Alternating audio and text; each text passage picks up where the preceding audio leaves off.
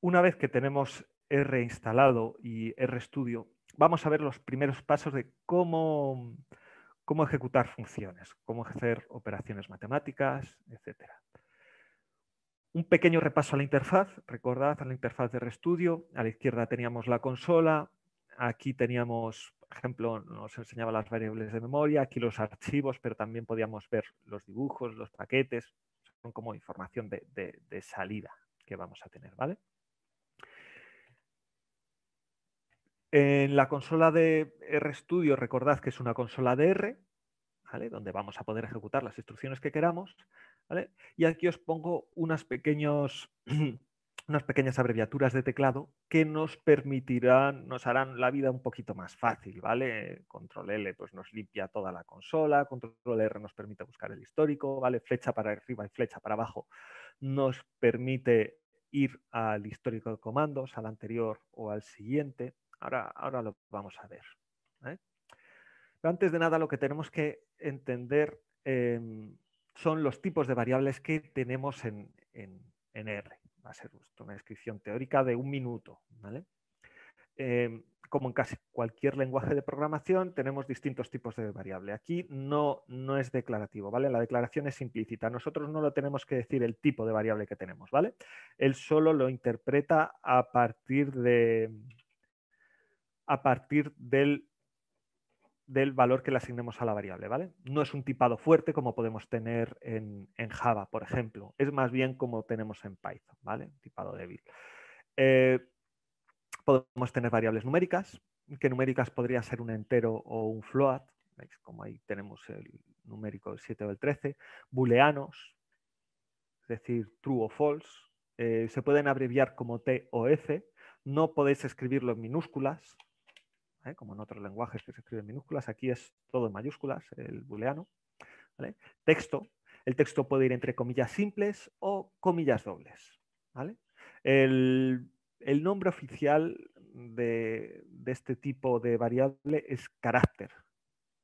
Eso puede llegar un poquito, puede inducir un poquito a confusión a los que vengáis de, de C y de Java, donde un carácter se refiere simplemente a, un byte o bueno, dos bytes si es Unicode, a, a, un carácter, a una letra solo. Y un string se refiere a una cadena de caracteres. Aquí el, tipo carácter se refiere a una cadena de caracteres, ¿vale? A un string.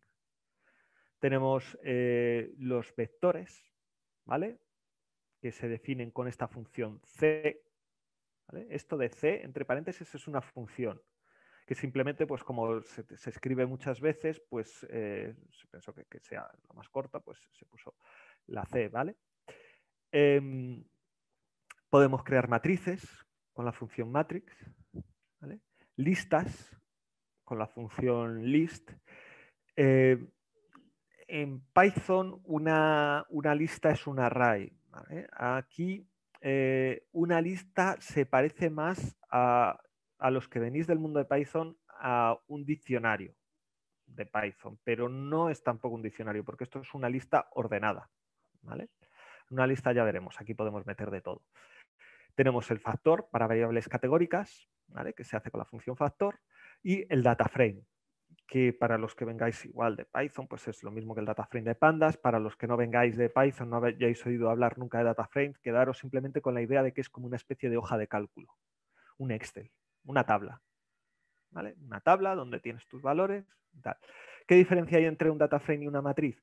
Pues que el data frame, todas las columnas, em, solo cada columna indica un atributo y puede tener eh, cada uno de los atributos puede ser de un tipo distinto, es decir, puede ser una columna que sea numérico, otra columna que sea em, de, de, cadenas de texto, factores, pero una matriz, en cambio, estamos hablando de matrices numéricas.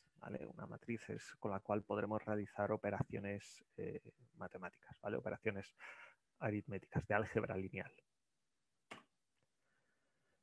¿Qué operaciones podemos hacer con variables? Pues la asignación. La asignación en R ¿vale? se hace bien como en el igual, como en todos los lenguajes de programación o la mayoría, o con esta flechita, que es el simbolito, ¿vale? Del menor y un guion, el menos. ¿vale? Entonces aquí le estamos asignando el valor A a la variable A, el número 5, a la variable B, el número 2. Infiere el tipo a partir del valor que le estamos pasando. Entonces aquí estos dos serían, serían dobles, ¿vale? Eh, operaciones aritméticas sencillas que ya hemos realizado cuando instalamos la aplicación, pues la suma se hace así, la multiplicación, resta, división, ¿vale? División entera, es decir, se queda solo con la parte entera de la división, el módulo, es decir, se queda solo con el resto de la, de la división y la potencia, ¿vale? Es decir, a elevado a b, 2 al cubo, 2 elevado a 3. Aquí a elevado a b sería 5 elevado a 2, es decir, 5 por 5, 25. ¿Qué más tipos eh, de operaciones podemos encontrar? Eh, los dos puntos. Esto para los que vengáis de MATLAB os sonará. 3, 2 puntos 10 nos crea una secuencia de, números. Em, contiene, esto es que si el 6 esto devuelve true, si el 6 está contenido en la secuencia del 3 al 10? Evidentemente sí. Podemos hacer multiplicación de matrices. Porcentaje, esto nos multiplica matrices, es decir, fila por columna. Una nueva función, recién salida del horno, tiene días. Em, es la del, la del pipe, ¿vale? De, de, una función a partir de la versión 4.10 de R. Eh, esta función es equivalente a esta otra, que viene del paquete Magritte. ¿vale? Pero esta es mucho más rápida, ¿vale? porque está implementado en, la función base. Lo que hace es básicamente que si tú pones un objeto, pones este pipe y una función, este objeto se le pasa como, como primer parámetro a la función. ¿vale? Es decir, este objeto lo tenemos aquí, se le pasaría aquí, es decir, ejecutaríamos, esto sería igual a escribir función entre paréntesis objeto. ¿vale? Es lo mismo. Y esto es equivalente a esto. ¿vale? Son los dos equivalentes. Estas dos son iguales. ¿Qué diferencia hay? Pues que históricamente, históricamente estaba solamente eh, la versión de abajo que, que la incorpora este paquete, entonces tenemos que instalar esta librería importar este paquete y usar esta función, este pipe, ¿vale? Pero ahora, como, se utiliza mucho, pues en, R directamente los, desarrolladores de R lo han implementado en el paquete base. No le van a dar el mismo nombre para que no haya conflicto, le han dado este otro nombre. ¿vale? Y es mucho más rápida, evidentemente, porque está programado en el, núcleo de, de, R. Lo otro no es más que un envoltorio. ¿vale? Por eso por eso, es, si estáis una versión a partir de 4.1, eh, os recomiendo que uséis este. Si estáis una versión anterior, os recomiendo que carguéis el paquete, bueno, el Magritte o el de PLIR, luego lo veremos, que hay varios paquetes que cargan este. Em, bueno, luego hay otras funciones que, como estas, estos otros tipos de, pipes que, nos permiten hacer otro tipo de funciones que, ya iremos viendo más, más adelante, ¿vale? Os, lo dejo aquí simplemente como, como recordatorio,